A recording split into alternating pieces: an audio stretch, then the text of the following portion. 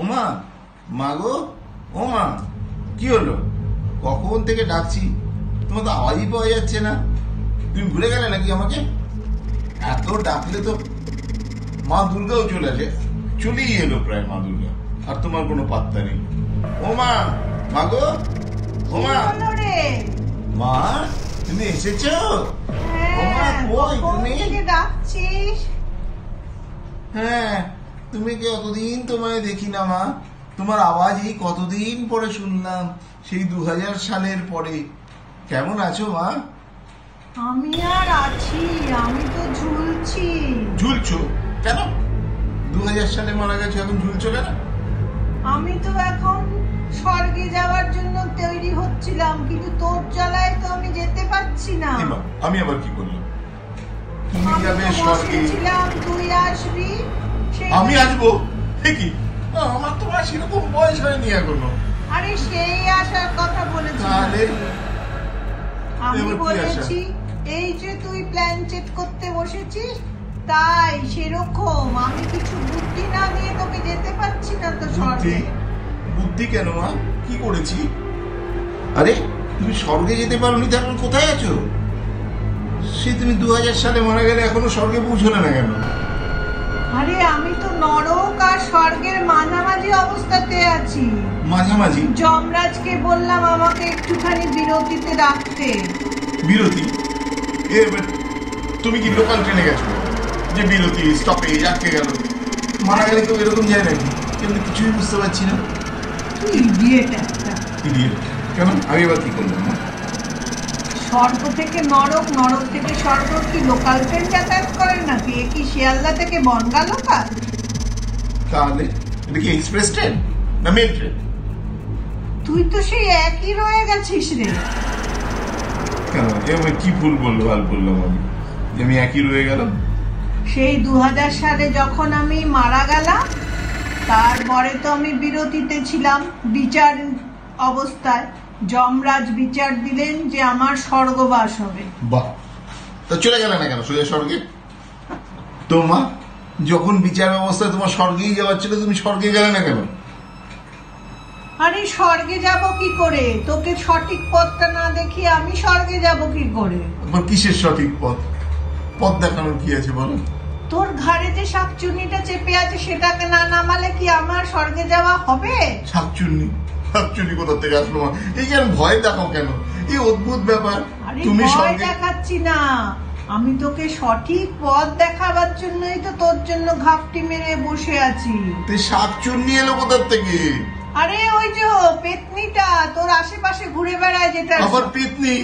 এ আমার গা ছমছম করছে। পেতনি থেকে এলো মা? আরে তোর বাড়িতে যে ঘুরঘুর ঘুরঘুর ঘুরঘুর করছে।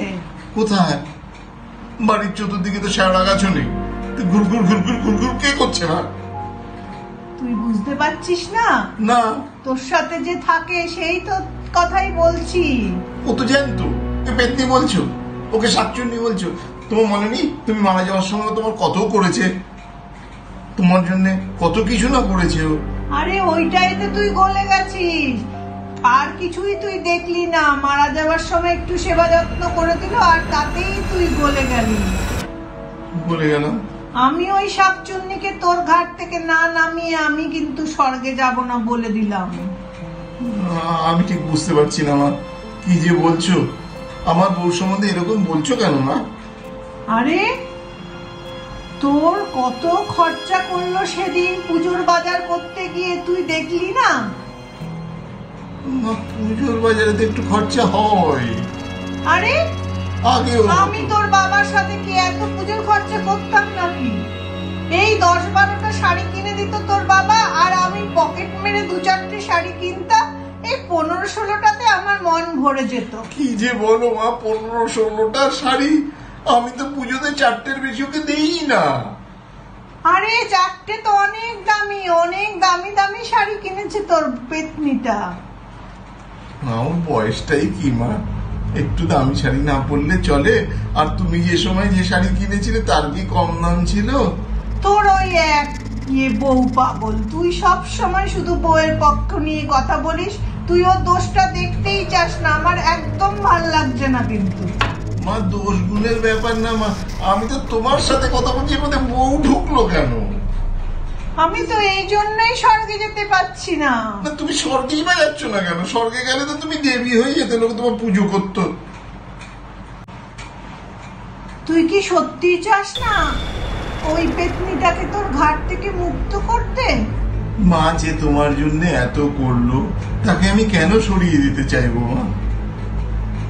দুটো শাড়ি কিনেছে একটু দামি বলে এটা কোনো কথা হলো মা?